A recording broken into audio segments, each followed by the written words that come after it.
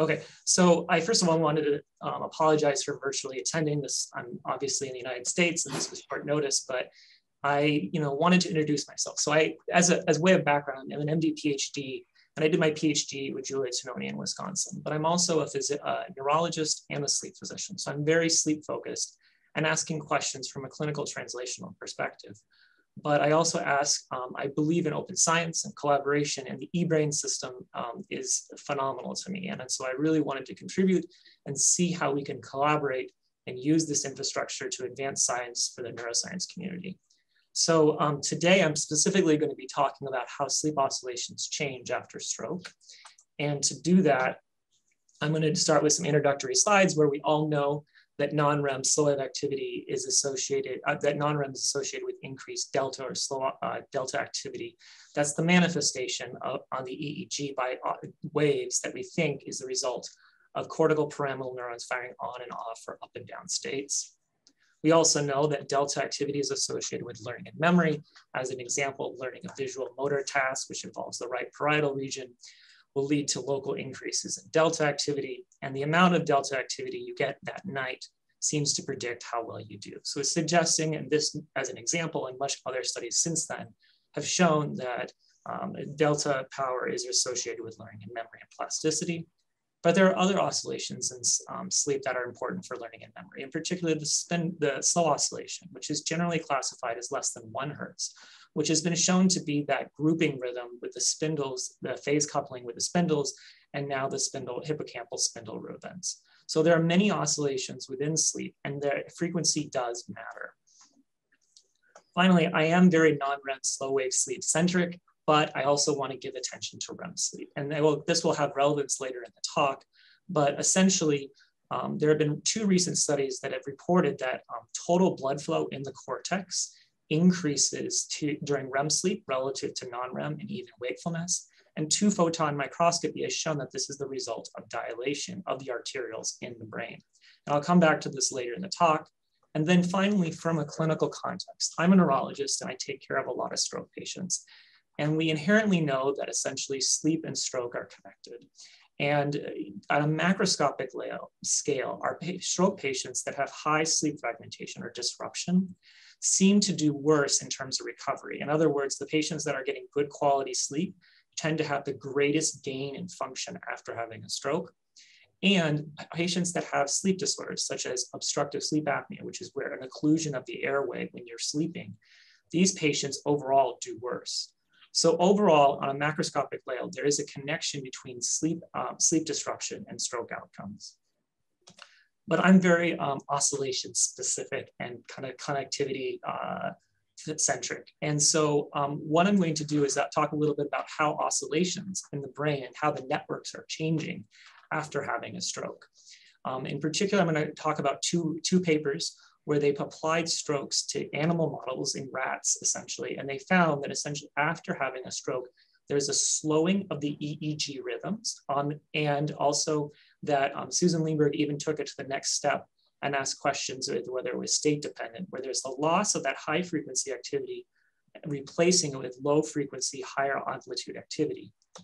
And if you can, but these are macroscopic questions and like unihemispherically. And when they quantified what's happening on a hemispheric level, they find that essentially um, in the, uh, the power level, where the power on the y-axis and um, frequency on the x-axis, um, power less than one hertz was in the one in one day after the lesion was significantly increased. And then Susan asked this question during non-REM sleep that there was a loss of high frequency activity and a highly variable increase in the low frequency activity. We can then ask what actually is happening on the other side of the brain. And interestingly, after three days after the lesion, they start to see this emergence of this slow oscillation, no less than one hertz. Whereas Susan didn't necessarily see this on the contralateral side, albeit a small loss in the spindle frequency range on the contralateral region. And then fully to translate this, um, Reto Huber and, and the group of Claudio Bassetti have looked at using high density EEG in stroke patients that after having a stroke, they see a pathological increase in the delta activity with a suppression or loss of ipsi lesional or nearby region areas of the stroke of delta power with a contralateral increase. So overall, these results suggest that slow oscillations, uh, that oscillations during sleep seem to be impacted by stroke. But unfortunately, some of these studies have had limitations, whether it's in animal models we have to, or surgical models, we have to worry about breach artifact, tissue destruction from, from invasive recordings. And while I'm a big believer in high density EEG, that's how I, what I learned as a, as a PhD student, we do have to combat, we do have to deal about volume conduction and spatial specificity, albeit source localization and the work of the Milan group is, is really advancing this field. And unfortunately, while EEG is very informative and has good temporal resolution, we have a lot, of, a lot of difficulty looking at activity less than one hertz due to artifacts, amplifiers, and high pass filters. And so really, and even this recent paper from 2018 wasn't able to look at all frequencies of activity. We basically had a, we cut off all the data below one hertz. And so really how these change is really kind of a fundamental question. And so do, to do that, our lab uses the wide field optical imaging that you've heard about um, from two speakers this morning as well, where we transgenically express the GCAMP6 promoter to that bind that is um, activated upon binding calcium and is expressed in Thy1 pyramidal neurons. And then we take a clear plexiglass window, retract the scalp, put intact skull and plop it down on top of the scalp and then we can shine essentially uh, blue and green light to essentially get a direct readout of neuronal activity on, the, on a meso scale. We then combine this with traditional EEG and EMG to classify the behavioral state as either non-REM, REM, or wakefulness. And we can do record this or uh, continuously for three hours.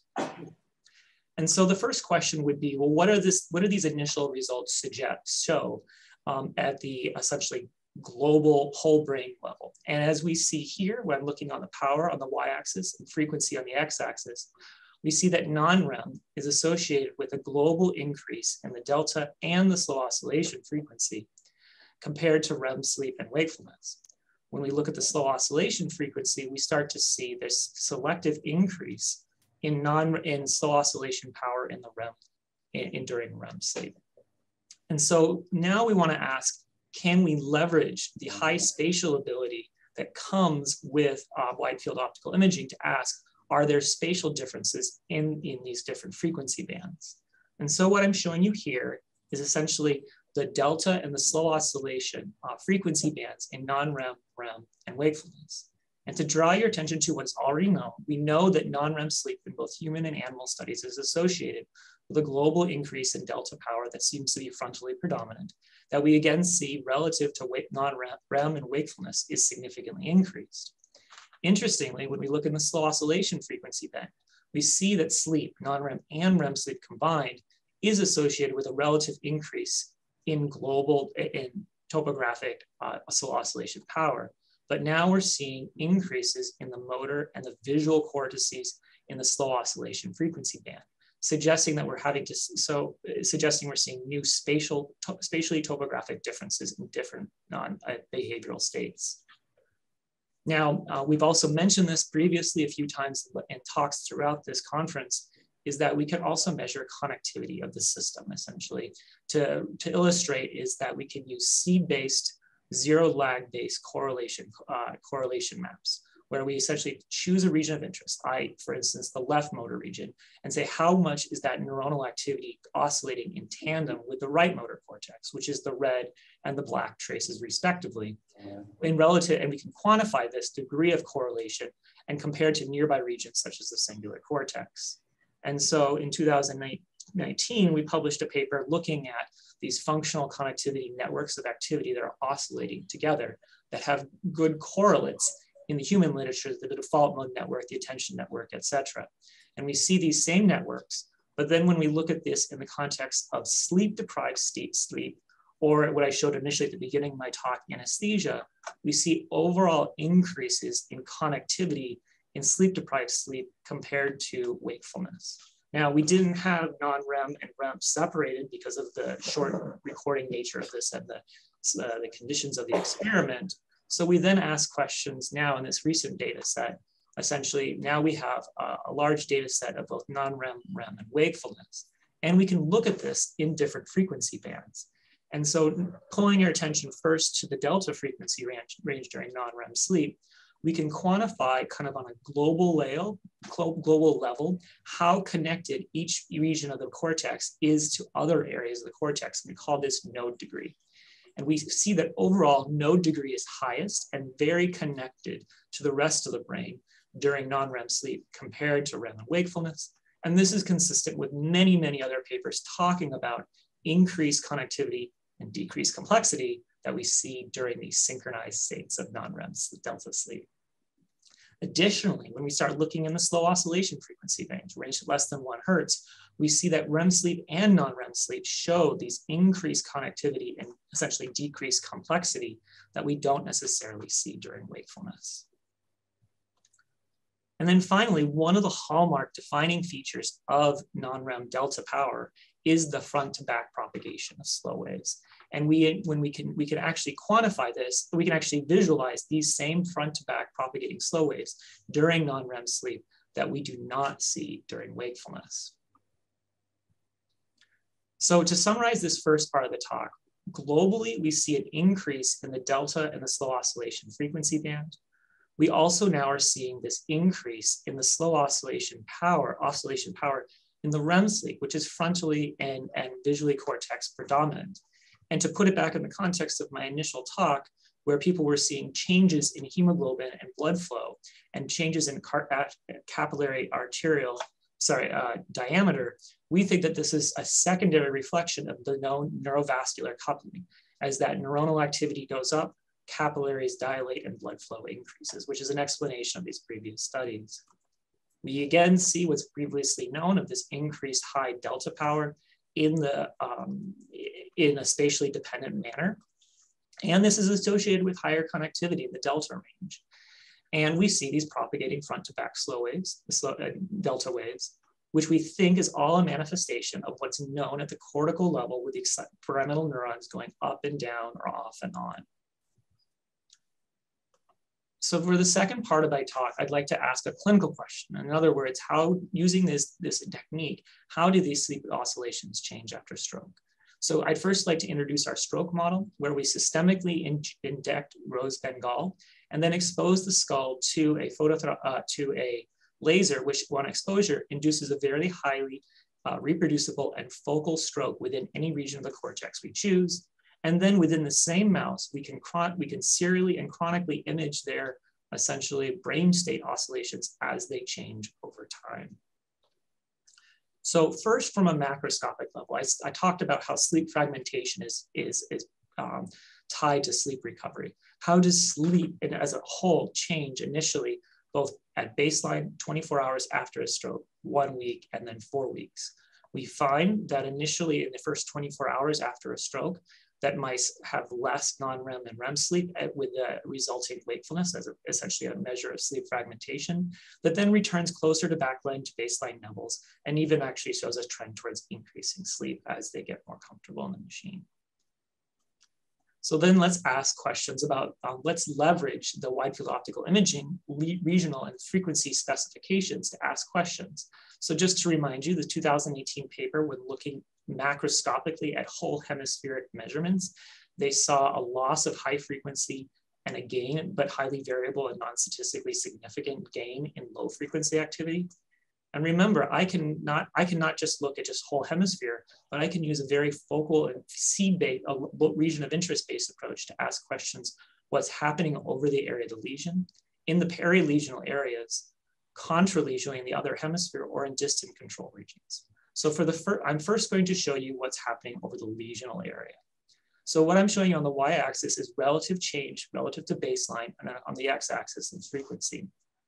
Initially, in the first 24 hours during non-REM sleep, we see a frequency-wide suppression of neuronal activity, both in the slow oscillation and the delta range.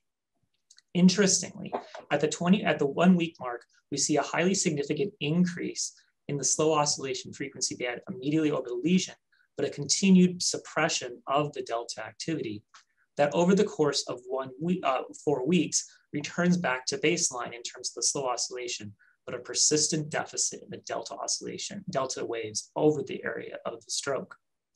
We can then look in the perilesional areas around the stroke, and, we essentially see the same trend, but to a, to a lesser magnitude than we do over the area of the stroke. Now, previously, uh, other studies have shown non-significant changes where still there was this kind of a trend.